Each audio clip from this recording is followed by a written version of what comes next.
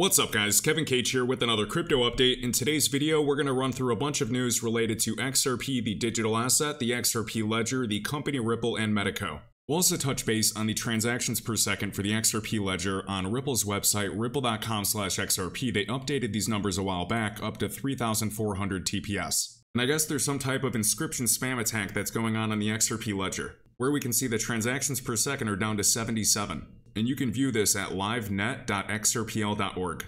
So what looks to be some type of attack on the XRP ledger with this inscription spam or all of these spammy transactions that just congest the network. So this could be somebody trying to exploit potential vulnerabilities or somebody's actually testing its limits. So we'll keep tabs on this. If you guys do know what's going on, please let me know down below. I'm not sure if this is just a test before trying to get TPS higher or if this is somebody actually trying to find vulnerabilities or simply try to slow down the network with all of these pointless transactions. So the TPS is bouncing between 60, 70, even 80, and we can see the number of XRP that have been burned permanently since inception. And the XRP ledger has had zero downtime since inception and over 80 million ledgers successfully closed. So to touch on Metaco, Ripple the company acquired Metaco, the Swiss-based custodian, for $250 million earlier this year to take on the growing institutional crypto custody market expected to reach $10 trillion by 2030. So Metaco is huge. They're partnered with IBM, BBVA, all types of banks, and when they give this type of prediction or projection of $10 trillion for the growing institutional crypto custody market, I wonder what that means for the crypto asset class and its market cap. Here's the total market cap of the entire crypto asset class over the past 10 plus years just on CoinTrader. And on the weekly or monthly, we can see a clear ascending channel with the all-time high at $3 trillion. What's interesting about this is this lower trend line right here, we can see it's actually held pretty well. So right there, we have the wick and candle bodies bouncing off. Even towards our cycle low and before the impulse, we also got the wick and candle bodies. So up top, we just have an internal trend line being respected to some degree for resistance and support all the way across the board even right down the middle all the way up, and then you can ignore this bottom trend line, I was just adding another parallel level. So we're sitting at around $1.6 trillion for the total market cap of the crypto asset class, but when you compare to a lot of other major markets and global asset classes, a lot of them are valued over 100 trillion. The global stock market and equities, the global bond market, real estate is hundreds of trillions, global derivatives is hundreds of trillions, S&P 500 is over 30 trillion, we have gold recently hitting an all-time high price. We have the Dow Jones hitting an all-time high. And these are things we saw last cycle for that probability of the next cycle starting and going into all-time highs. Alternative investments is projected to go over 20 trillion, you know, commodities market, a couple dozen trillion. So if Metaco is estimating that the institutional crypto custody market is going to be $10 trillion,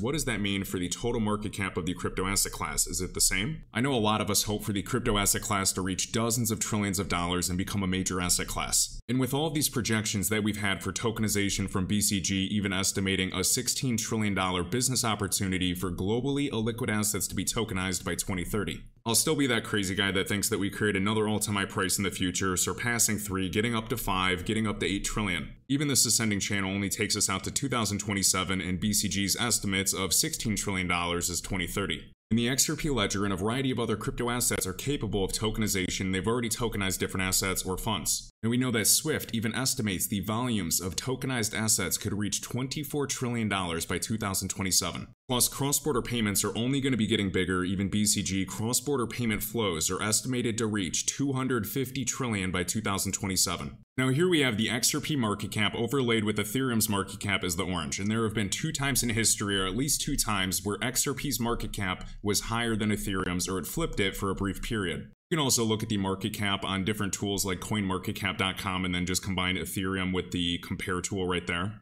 we can see periods where XRP's market cap briefly surpassed the market cap of Ethereum. So for anybody to say that XRP can't flip Ethereum's market cap, that's silly because it's happened before. In Ethereum's all-time high market cap last cycle was 570 billion. Even back in 2018, XRP's all-time high market cap was around 140 billion. So even today, if XRP surpassed Ethereum's all-time high market cap of 570 billion, XRP would be over 10 bucks. If we're looking at XRP today, taking Ethereum's current market cap, that would be over 5 bucks. And this website is the coin perspective for anybody curious right there, and you can basically size any asset and compare the market caps to the current value, but this is not the all-time high market cap for comparison. But here we can see XRP's price based off its current circulating supply, comparing it to the current market caps of other alts. Remember that Robbie Mitchnick used to work for Ripple and he made this paper with Susan Athey back in 2018 of June, a fundamental valuation framework for crypto assets, looking at both XRP and Bitcoin giving a low estimate and a high estimate, showing Bitcoin low estimates around 45k and then the high estimate around 93k.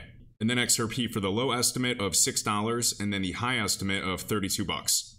And it was interesting because after this paper, Robbie Mitchnick left Ripple and then he was hired by BlackRock as head of digital assets. Next up, I want to play this Bitcoin Spot ETF commercial that was put out with the Dos Equis guy. I might have to trim it out if there's copywriting issues, but just wanted to share that Bitwise released this ETF commercial for a Bitcoin Spot ETF.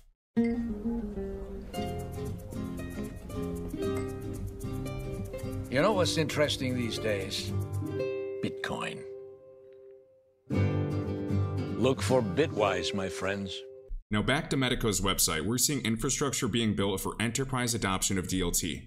And these are all things that have to be built out. We don't even have regulatory clarity, so it makes it a lot more difficult. So infrastructure in terms of custody, cold storage, multi-sig, key recovery, liquidity, payment rails, all types of things. So Metaco is a very big organization, over 100 employees, over 20 plus jurisdictions. We can see a bunch of organizations such as this, the ISSA, the International Security Services Association. So here's a list of the member firms as of October this year. We have a bunch of organizations including Accenture, different securities exchanges, BNP Paribas, we have Citigroup, DBS Bank, the largest bank in terms of AUM in Singapore. DZ Bank, Metaco's partnered with them, I believe. We have Metaco in this list, but I don't see any crypto company or blockchain based company directly, like a mention of the company Ripple or Hedera. But we do have Nucleus Finance, which leverages Casper Network, that is their layer 1 partner. We have NASDAQ, and of course R3, which is huge. But we have a lot of Medico partners as well, including VP Bank, we have the DTCC, all types of organizations. We have SEB, and then also SIX right there.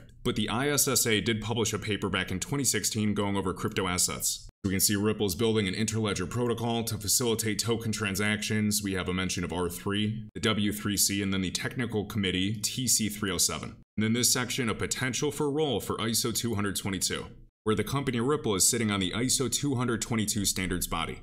Mainstream media might act like the crypto asset class is a complete joke, but why are all these banks basically investing in crypto infrastructure and custody? So Zodia right here is backed by Standard Chartered, SBI Holdings, and Northern Trust. The integration enables institutions to access Zodia Custody's bank-grade custody solutions through Metaco.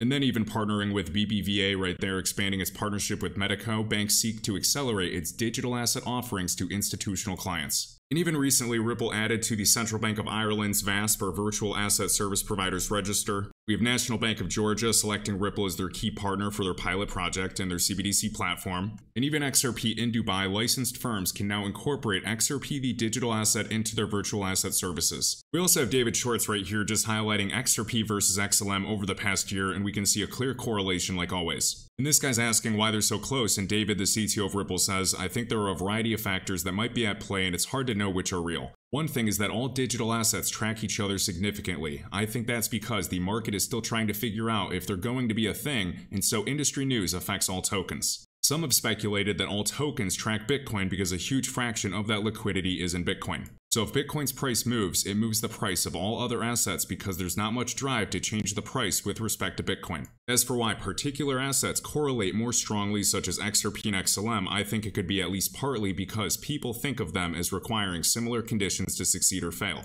But who knows? We have Wrath Economy, another must follow. So, regarding the AMM or automated market maker coming to the XRP ledger when the validators are actually in agreement and vote to make the change. He believes the AMM will hit the XRP ledger in a time frame when stablecoin bridges and possibly carbon credits grow. This could create some very interesting possibilities for XRP liquidity in staking pools. So I agree, and I really hope in 2024 we get this big stablecoin bill that we've been hearing about because that would be huge. With all of these other countries building their own CBDCs and leveraging stablecoins, that's a huge threat to the US dollar. And Jeremy Hogan right here, how can a stablecoin be a security? How can you buy something that's pegged to a dollar and expect profit from it? Right here in the SEC versus Terraform Labs case, a stablecoin is a security when you can stake it for a return on investment, regardless of whether you personally stake it or not. We have shared by Crypto Eddie with the press release linked below, we can see DeFi Technologies announces strategic acquisition of leading Solana trading systems IP. So we can see 10 digital assets in this list, including XRP, and the acquiring company behind the Valour digital asset backed 10 ETP or exchange traded product in the soon XRP backed ETP will have powerful trading solutions specifically designed for Solana. And this IP has an AMM or an automated market maker solution that facilitates the trading of digital assets in a permissionless and automatic model using liquidity pools. And another huge reason I want to see both the Bitcoin and the Ethereum spot ETF be approved is because this will lead to more ETPs and ETFs for a variety of crypto assets. Similar to 21shares.com, where they have an XRP exchange traded product live today that is backed by actual XRP with over $50 million in AUM. So this is 100% physically backed by the underlying Ripples or XRP. They used to call XRP the digital asset Ripples back in the day. And the XRP is kept in cold storage by an institutional grade custodian. So this ticker is AXRP. I would love to see more for a variety of crypto assets. And they have ETPs for other assets already like Algo, ADA, Aave, Polkadot, etc. So we talked about Ripple being added to the Central Bank of Ireland for their list of virtual asset service providers in this register. We have Anders saying Ripple will passport its services to the whole European Union from Ireland. Since EU-wide crypto regulations called MICA or MICA, which we'll go over, are coming into force in 2024. So I just say MICA, but this stands for Market and Crypto Assets Regulation. And this is on the European Securities and Markets Authority website. And so this MICA, or Markets and Crypto Assets Regulation, MICA, entered into force in June of 2023. We have Wrath Economy showing Tranglo, a Ripple partner, and Ripple also owns a portion of Tranglo, has entered Myanmar, however you say that, Myanmar, via partnership with KBZ Bank for remittances. And remember, Tranglo on tranglo.com slash ODL is an ODL user that is using XRP and real payment flows today. And remember, we have Merlin linked in the top of this YouTube video description and in the pinned comment. I will also link this video that I did a while back going over exit plans and how I personally structure it. Feel free to check it out. As hard as bear markets are, we understand that the crypto markets operate in cycles, and I believe another cycle is just a matter of time.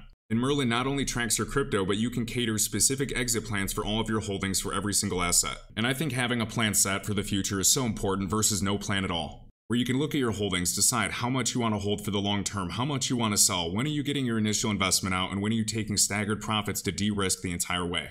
And we have Merlin linked in the top of my link tree right there where you can test out these features and build your own exit plan. And please check out that video. I'll also add a card to this video so you can go check it out if you haven't seen it yet. So you can run these numbers and see the numbers for yourself to make the best exit plan possible. We also have iTrust Capital linked in the top of this YouTube video description. If you use that link and create a free account, you get a $100 funding reward. And I've had a Roth IRA with iTrust Capital since January of 2020, so all of my gains grow 100% tax free. And friendly reminder, the platform is free. There's no monthly cost, no startup cost, or anything like that, with just a 1% transaction fee when you buy and sell. If you're just holding your crypto for the long term, you're not paying a single penny. So the same transaction fee as Coinbase, except with Coinbase, you're not getting any tax benefits and you're paying taxes on both your short-term and long-term capital gains. Hope you guys enjoyed. Huge thanks to all to hit the like button and I'll catch you in the next one. If you enjoyed this video, I'd greatly appreciate if you could hit the like button, let me know your thoughts down below, and my link tree is linked in the top of this YouTube video description, with all links, crypto resources, and discounts. I'll catch you in the next one.